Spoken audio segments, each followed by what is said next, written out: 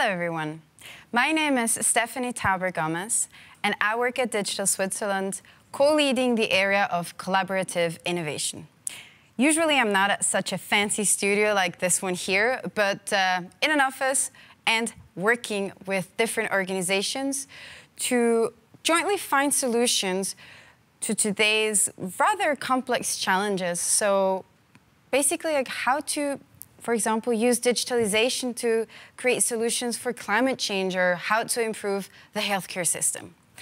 Today I'm here to present to you the Startup Battle 2021. The Startup Battle is a digital days stage to promote and support Swiss entrepreneurs and startups.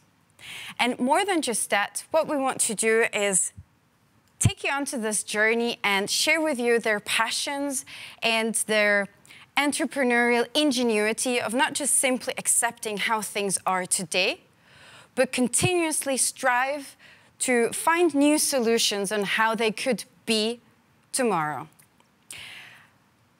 We will be presenting to you 15 startups in five episodes. Today, it's episode number three, where we have another three startups pitching to convince you, me, and all of our experts.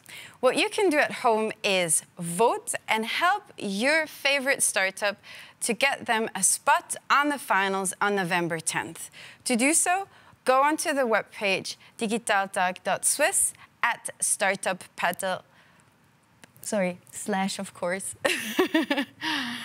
and um, yeah, very curious once more to see who have we selected for today's episode. And I'm very happy to introduce you to my colleague and co-moderator today, Matthias Zwingli, head of a startup at Digital Switzerland. Hi. Hello, pleasure as well. So I guess everyone's kind of curious. What does that actually mean, like head of startup at Digital Switzerland? So what is it? What is it that you usually do? I ask myself uh, sometimes as well. Um, now it's actually quite simple. So I think our idea or our initiative is really to create Switzerland more and bigger startups. And that's basically what we what we all working on. So um, creating more unicorns and then making Switzerland aware as well in the world they have great tech and great deep tech startups, but sometimes if you come across the borders, um, they're not as well known.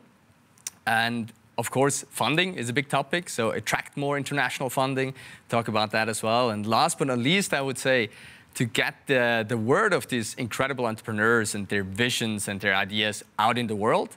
And uh, that is one of the reasons why we're here today. Uh, the Startup Battle was exactly designed to tell Swiss people what incredible entrepreneurs they have and what incredible visionaries they are and uh, show them what the next ideas are that shape the future.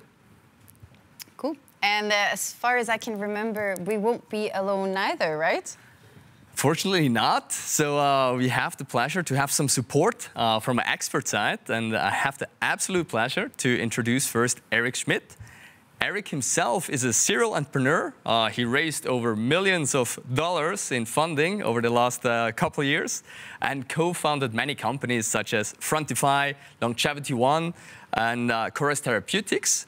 And from such a, with such a track record, Eric, um, my big question is maybe what would you advise a future entrepreneur that wants to go a similar path? What learnings did you take that you should that they should take on their way? Um, thank you, Matthias. Um, well, I think uh, for me, uh, what I've learned over all these years, and I spent uh, 20 years in, in California, in Silicon Valley, is always look for uh, a market that is uh, big and growing. Um, put together a management team that can get the job done. Um, have a brilliant idea that you can build into a product. And um, create competitive, sustainable advantages against your competition. And last but not least, be reasonable with your price. Price per share, price, anything with numbers, you know, revenues, projections, anything. That's all I have. I mean, that is already a playbook how to scale up a company. Thanks a lot, Eric. um, next up, I have the absolute pleasure to introduce Olga Peters.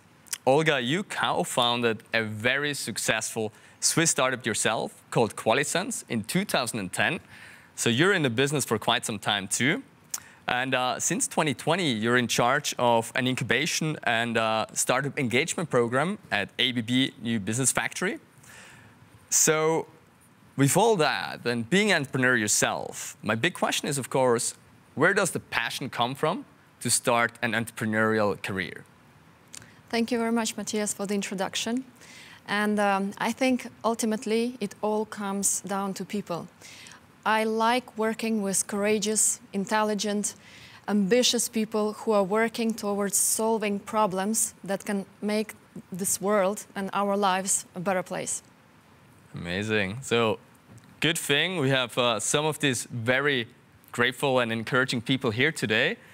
And uh, without further ado, I uh, introduce our first startup, I would say. So let me introduce you the first startup up here, Kaspar and, or Und, and uh, its co-founder Jan-Philipp Schade. Kaspar enables everyone to build up wealth, even in times of negative interest rates, which we have today. And um, maybe I was wondering a bit on the name. So Jan-Philipp, could you quickly give me a, hint? How did you come up with uh, Und? Sure, yeah, my pleasure. First of all, thanks for having us here today. And uh, you might think that there's something missing because it just ends with an end. But the fact is, no, actually, the end stands for everyone our customers, everyone working in the company, and our partners. So we understand ourselves as an integrative brand trying to get everyone on board. Uh, that's, uh, that's already a good start. so next up, we hear some more from you and what Kaspar Und is doing. So you have 90 seconds, and uh, feel free to pitch your idea to the audience. Thank you. So we all have financial dreams. And today, it is more difficult than ever to reach these dreams without investing and proper financial planning, which is why most people need an advisor in their life. And that is Kaspar Und. We help our customers to reach their goals by integrating finance into their everyday life and enabling them to invest the way they want. And this is how it works. All it needs to start is five minutes, a smartphone, and one Swiss franc. And you will get a Swiss bank account, your first investment portfolio worth one Swiss franc, and the Kaspar Und card. And it's this card which brings investing into your everyday life. Because every time you pay with it, you will automatically round up to the next Swiss franc and invest the difference into your goals. Together, with the option to have as many personal goals as you want, the option to have a Pillar 3A saving, and an overview of all of your payments, you can now manage your financial life. We're based in. Gallen. We're seven people, and we're currently starting to onboard our first alpha users in the next weeks, and we would be happy to have you on board as well. Thank you very much. Well, thank you so much. I have to admit, though, I'm always a bit hesitant when someone uh, promises me that they're going to take care of all my finances. So I'm uh, very curious to hear now your questions to the whole Kaspar and I idea and Jan-Philipp. Um, well, thank you a lot for the presentation. I mentioned earlier competitive advantages, so I'd like to go straight there. So, so what, how you plan, how are you different? You know, what, what are your attributes and are they going to sustain over time on your product, you know, compared to all the, you know, the Neon, Revoluts, and, and Wise, and uh, all the 3A uh, Franklys that the KBs are opening now? Yes, so there's one big difference. For the first time ever, we combine payments and investing and bring it into one product. In this way, we make it easy for everyone to start because you just need one Swiss franc and some micro top ups to understand investing. And that is really the big difference to all the other players who only focus on one point, whereas we combine both of them and by that enable you to start and to understand how investing and reaching financial goals works. Okay. Olga, what do you think? I mean, maybe thinking as well, uh, if I remember correctly, you mentioned that you are having some alpha users, so breaking it down, how many people are currently using it? Mm -hmm. So currently, uh, we have no users yet. We have a pre-selected list. So on, on, our homepage, you can actually sign up to become one of the first customers. Uh, we have more than 350 people who have pre-signed up for that list, and we will now start with these users till the end of the year because we want to develop the app together with them and then have the big market launch next year. So what is your unfair advantage then? Why should I come and become the first user? How can I trust you? So I think the trick is that you can actually just start with one Swiss franc and the top-up amounts, and that actually gives you the uh, chance to, you know, try us out with small amounts. It's like a first test drive in a car, and once you have the trust, you can then invest more with Kaspar. But that is actually the idea how we want to build up that trust. And what is then your big promise towards me if I start to be a user? What is my upside? So your upside actually is that you can start investing. And that is the most powerful tool you need to actually reach your goals because you get zero money on your bank account and you actually get a long-term return if you start investing. And that is what we can deliver you, exposure to investing. Thank you. And what will I be investing in? I mean, is that going to be like equities or um, um, uh, listed stocks or? No, so you will be investing into a passive portfolio of equity, of fixed income, of gold, and of real estate. And we will do that with ETFs and index funds. So giving you exposure to a passive investment portfolio, which is the state-of-the-art investment approach currently. So you're like a little bit like a Revolut that just takes uh, a few cents out of my account every day or hour and uh, it goes into uh, like a robo-advisor type uh, exactly. platform? Exactly. We combine these two business models. And the idea is that we're all investment professionals and we bring our expertise from that professional history we all had into today's life and enable you to invest just as professional people would do. Especially having two such um, experienced entrepreneurs here, I would uh, love to hear from both of you, maybe just each of you, one nugget of advice for, uh, well, Kaspar and uh, entrepreneurial journey? Okay. Uh, well, I, as I mentioned before, I had those uh, um, criterias. You know, I think it's, it's always be reasonable uh, when you when you talk to investors and when you when you make projections. It's something that is uh, I've been burned uh, a few times. um, also, I, I think you are in a very busy, quite busy market.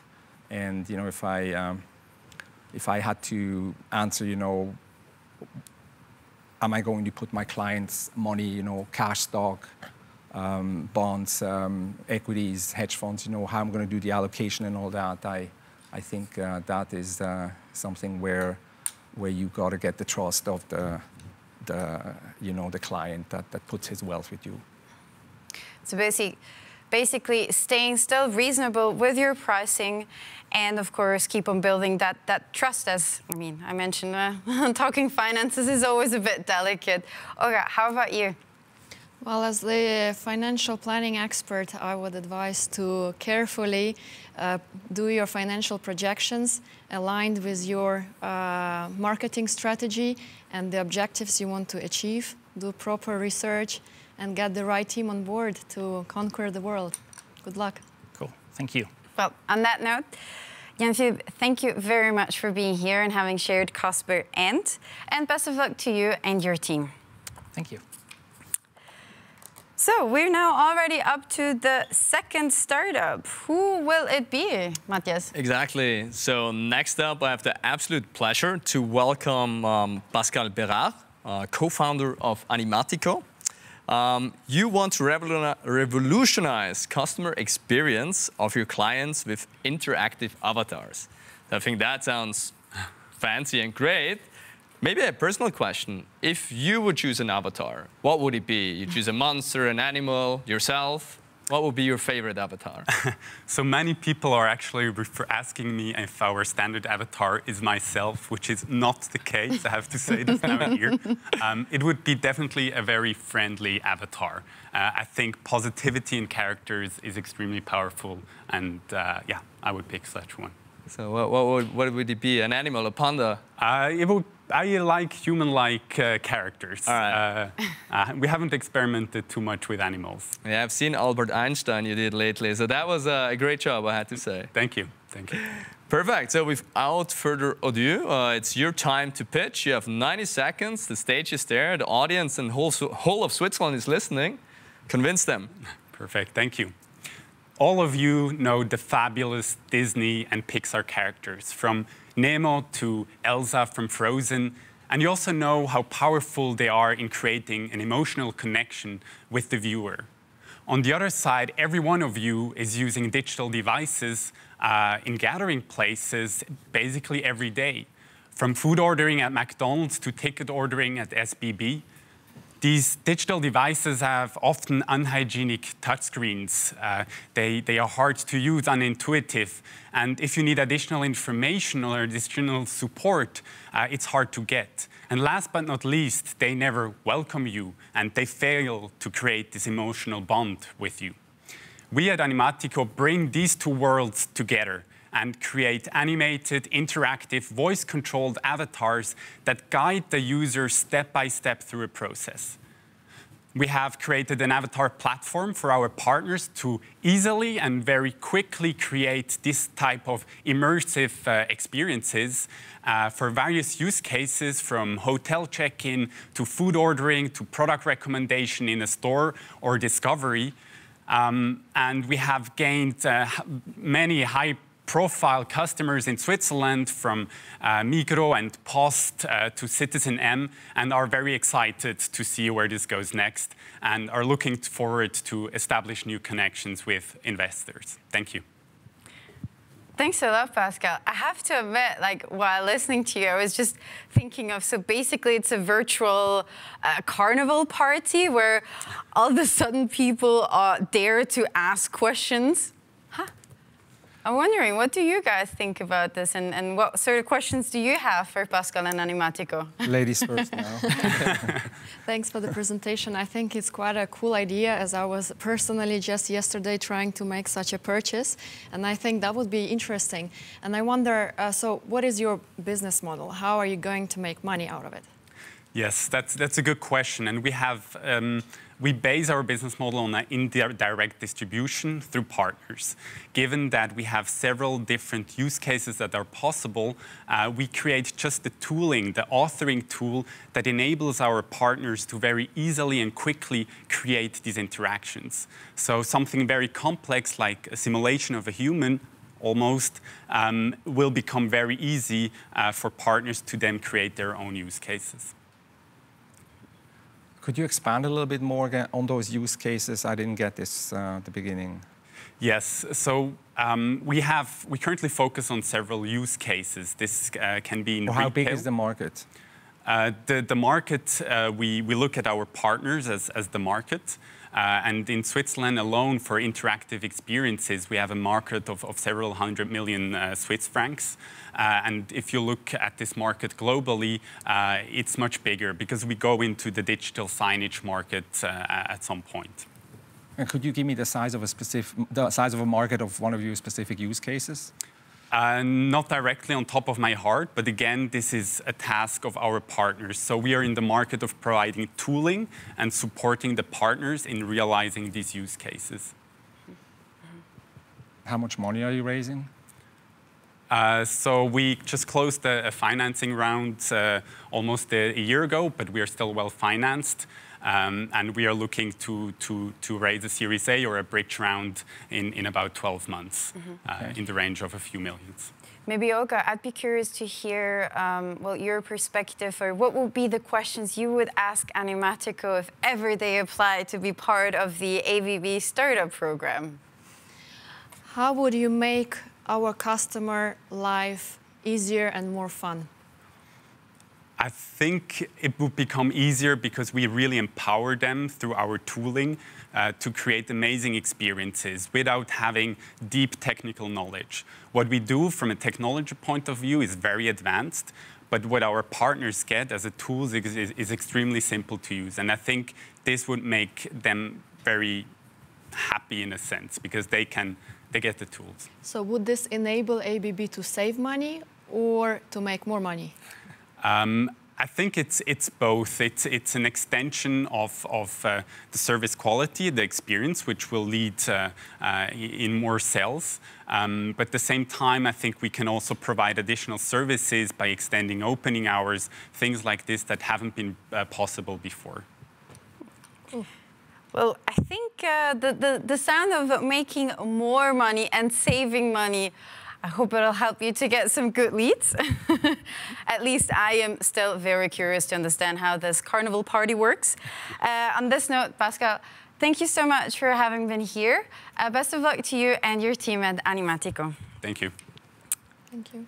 So, Matthias, tell us who is the third and last startup of today? Exactly. Last but not least, uh, we're moving a bit away from uh, cartoons and uh, anime like avatars uh, to a super interesting field called plastic. So I have the last startup to introduce today.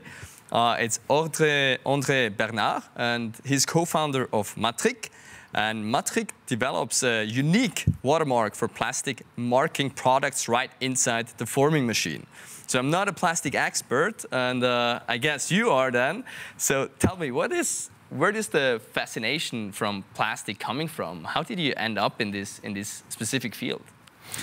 It's a good question um, because it's not obvious. Um, I'm, a, I'm a scientist and technologist by heart. Uh, I'm also a serial entrepreneur. And um, I was working in a, in a, University of Applied Sciences, and there I had uh, facing uh, material problems a lot and uh, traceability of materials along the value chain. And that's where exactly came this pain point from. So basically being able to exactly know where is a part coming from. Well, that's great. And you told me so uh, that you don't have to recall if something is breaking the coffee machine, you don't have to recall all of them, but the very specific one as soon as you know where it's broken. I don't want to take away your pitch, so that's your job. Uh, you have 90 seconds to convince the audience, and um, we're super excited to hear more from you. The stage is yours. Thanks a lot. Just imagine you produce one million of these test tubes for blood samples to run a test. And now you put these millions of blood samples into this uh, test tube, yours as well. How do you find out which one of these test tubes is yours? You can't, because they all look the same unless you mark it or you label it. Today, labeling is a process which is cumbersome, complex, adds time and cost. That's exactly where we come into place. We have invented a unique watermark of plastic that enables using micro nanotechnology, using a tiny little device that is in the heart of the forming machine to issue a watermark, so a data matrix code individually on every single test tube, on every single plastic device that is produced uh, in the world. This is um, a very fast millisecond process, and we enable then to make traceability, brand identification, and Industry 4.0 because we also integrate sensors. So we make these little plastic tube as unique, as individual as you are. Thanks a lot, Andre. I mean, I'm not gonna lie, I am not as familiar with plastics as you are. And I think it's always interesting to understand problems of which you've actually never heard before. So, um, Olga, what do you think, or what are the questions you would like to ask Andre to better understand uh, Matrix and its, um, well, business ideas behind it? So, I think I understand the problem you're uh, trying to solve is traceability and many other aspects that come along. Um, and um, I, I, wonder, so what, what is your go-to-market? Uh, who are your customers and how do you approach them? Yeah. We first approach two kinds of customers. Uh, these are, on the one side, the product owner, the ones that then produce the plastic uh, for, their, for their purposes and bring it to market. And on the other side, the service providers running the machine, running the, uh, the equipment that produces the plastic, like injection molding, thermoforming, and the like. So these are the two customers. At their interface, usually, the decision is made for a marking process if needed, and it's increasingly needed because there are several markets demanding for traceability along the, the value chain. So are you working with uh, big corporates? Yes. On one hand, it's a big corporate. I mean, like uh, producing these uh, things in, in billion quantity. I mean, you can imagine for what purpose we need these things here. And on the other side, also for smaller customers producing, I mean, we have many customers that produce uh, coffee machines in Switzerland. There are many plastic parts inside. A car, for instance, has some 10,000 plastic parts inside. So there's a, a big market out there that needs traceability and compliance with regulations. Um, thank you. This sounds interesting. Uh, so is this like like RFID uh, in a different way with using um, uh, your marker technology? Um, and um, so, for example, I was in a I had a beverage company once for three years, and we produced these hundreds of containers with PET bottles, right? So mm. could you mark a PET bottle and on the cap or on the bottle itself and do this? How much would that cost? So this is, uh, of course, a sub-cent business. However, I mean, it comes in large quantities at the end worth a lot, so thousands of Swiss francs.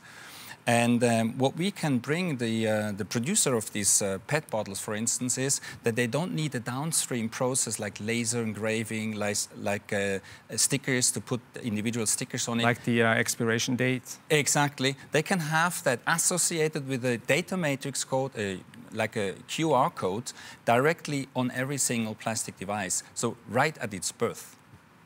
And where are you now in terms of, you know, prototype, going to market, scaling?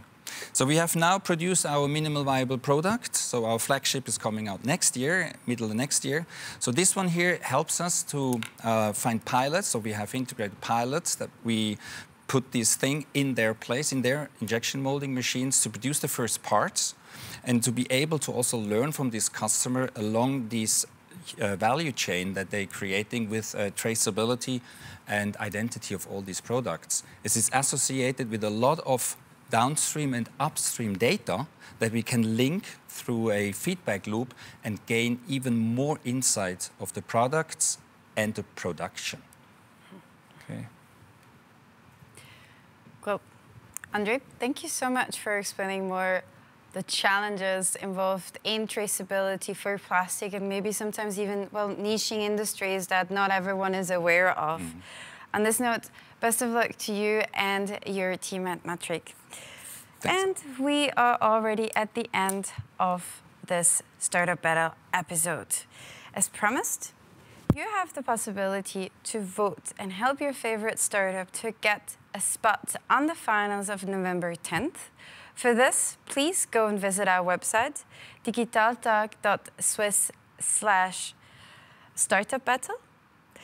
I would like to thank all the entrepreneurs, so Jean-Philippe with Kaspar and Pascal with Animatico, and as well Andre with matriq for having shared their passion and their well, businesses that they're really working on day and night. And of course, our two experts, Olga and Eric, for the critical questions and helping us understand it even a bit better. So next time you meet a startup, you know how to ask some good questions. And lastly, of course, I'd like to thank our partners, Innosuisse, AWS, Sictic, Swisscom, and Canton de Vaud. Because without you, Startup Battle wouldn't be. So looking forward to seeing you all next week on Wednesday.